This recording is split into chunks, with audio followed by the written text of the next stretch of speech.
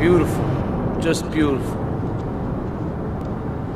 All right, just the guy I need to talk to. All right, there's a car stuffed with a stiff at the cafe near Callahan Point.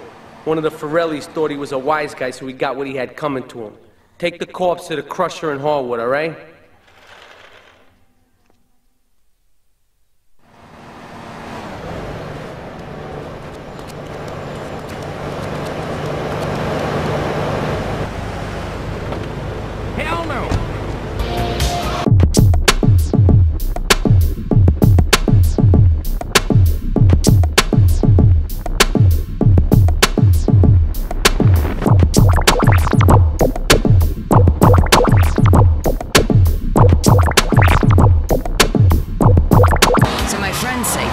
do you remember the 70s and 80s? And I say, well, I certainly don't remember anything since then.